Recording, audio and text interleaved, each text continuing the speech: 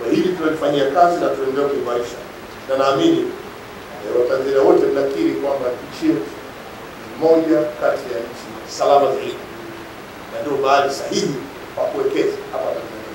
Karibuni sana. Awali nimetaja miradi mingi ambayo tunaitekeleza. Mingi miongoni mwa hiyo ni ile inayosaidia kuendesha biashara zenu, kuimarisha shirika la ndege ni kwa ajili yenu, kusafiri kwenda popote. Ndani na nje ya nchi, na kama ambavyo mmeona tumeanza safari za kwenda India na maeneo mengine. Tunaendelea kufungua milango zaidi. Na tutaendelea kushirikiana na mataifa mbalimbali ili kuwa na utendaji wa pamoja wa mashirika yetu. Tunaimarisha usafiri wa reli, tunaimarisha usafiri wa maji majini, kando ya bahari, maziwa, yote yana usafiri sasa. Kwa hiyo yote hiyo ni jitihada za kurahisisha uwekezaji na kufanya biashara ndani na nje ya nchi, na kama ambavyo mnafahamu, ili kuchochea kasi ya ujenzi wa uchumi wa viwanda, serikali imeendelea kutekeleza pia na mradi mkubwa sana wa umeme kwa lengo la kuendesha kupata umeme mkubwa wa kutosha wa uhakika na wa bei nafuu ili uweze kuendesha viwanda. Megawati elfu mbili mia moja tunazozalisha kujumlisha na za sasa megawati elfu moja mia sita tutakuwa na umeme mwingi sana wa kutosha wa uhakika na malengo yetu uwe wa gharama nafuu. Ukishafika hapo, uzalishaji itakuwa rahisi. Kwa hiyo vyema sasa ni kuhamasisha, jenga kiwanda sasa, umeme uliopo, na ukija huo utakuwa unaendelea kupata faida uwekezaji wako. Kwa hiyo wawekezaji, niendelee kuhakikisha kwamba miradi hii inatekelezwa kwa kasi ili kuendana na mipango yenu ya uwekezaji hapa nchini.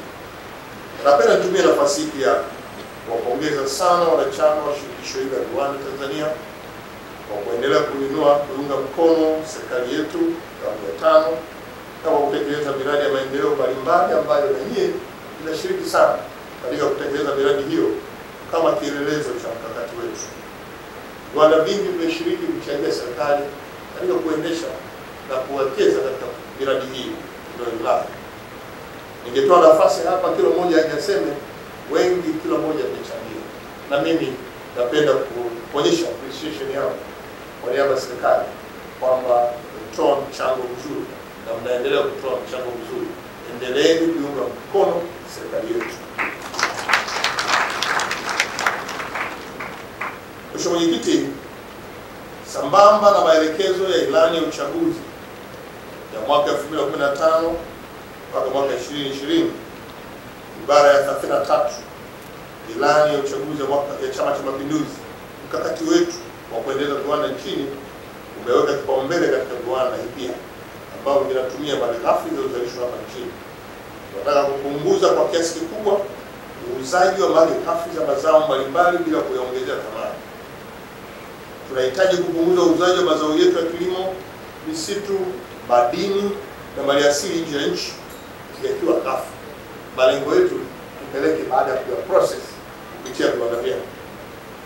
Hali kadhalika tunalenga kutumia rasilimali zilizopo hapa nchini kuzalisha zaidi bidhaa ambazo hivi sasa tunaziagiza kutoka nje.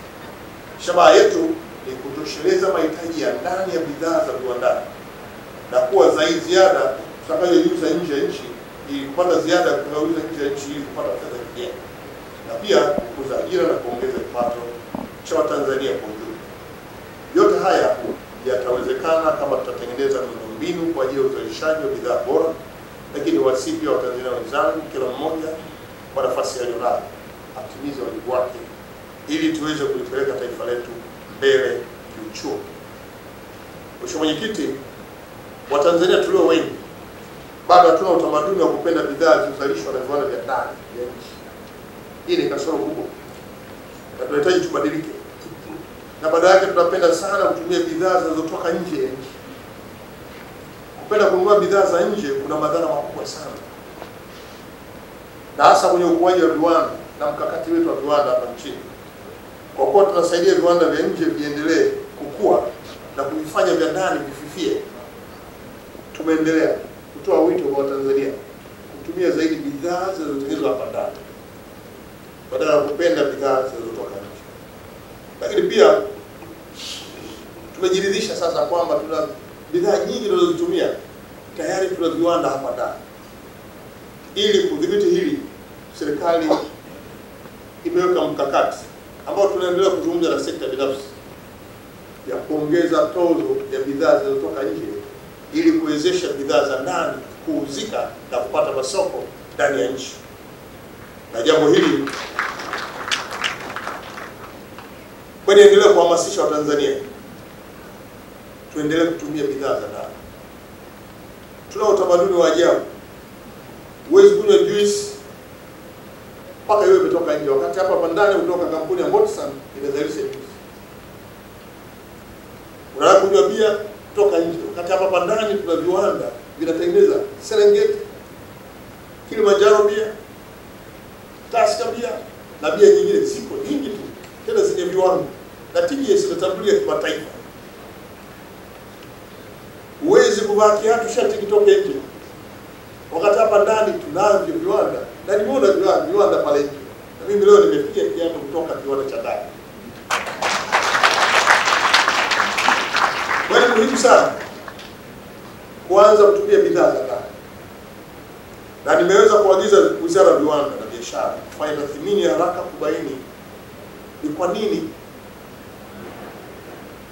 tunaendelea kuona bidhaa nyingi za ndani za nje zikizagaa, tukiwa na bidhaa za ndani zinazalishwa nazo pia zinagaa zipazagaa zipate masoko.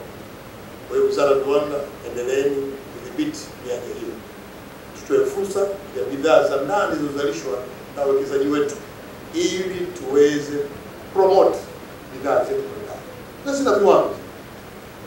Tushirikiane sote kuziba mianya ya uingizaji bidhaa holela. Si tunaita njia ya panya, njia za panya ziko nyingi, bandari bubu ziko nyingi, zinaingiza bidhaa kutoka nje. Serikali yetu tunaendelea kudhibiti mianya hiyo ili kuhakikisha tunaweza kuimarisha bidhaa zetu. Kwa upendo, kwa upande wenu na wajibu pia kuhakikisha kwamba mnaendelea kuwekeza katika maeneo yenye uhitaji, hasa kwenye bidhaa ambazo mnaona Watanzania wanazipenda sana ili tuweze kuimarisha vizuri mkakati wa kudhibiti bidhaa za nje ili bidhaa za ndani ziweze kupata masoko zaidi. Leo hii tunaendelea kuuza mazao yetu nje ghafi kwa sababu ya kukosa viwanda Tanzania. Zao kama pamba, bado pamba yetu tunategemea kuipeleka nje, na viwanda vichache sana vinazalisha nguo chini. Tunahitaji viwanda vya nguo chini na pamba ya kutosha chini. Leo tumeongeza uzalishaji kutoka na tani laki mbili ishirini na tano mpaka tani laki tatu na nusu na tunataka tuongeze uzalishaji wa pamba kufikia tani laki nne na malengo yetu kufikia ishirini na tano ishirini na tano tufike tani laki nane na inawezekana. Lakini pamba hii tukiendelea kuilima na kupeleka nje, tunahangaika sana masoko yake, kama ambavyo tumehangaika mwaka huu tungekuwa na viwanda vya nguo vingi, pamba yote ingeisha. Leo tuna viwanda viwili Mida na kingine kiko Morogoro, ndio vinatengeneza nguo. Tuna fursa ya kujenga viwanda vya nguo. Maeneo yapo, umeme upo, maji yapo.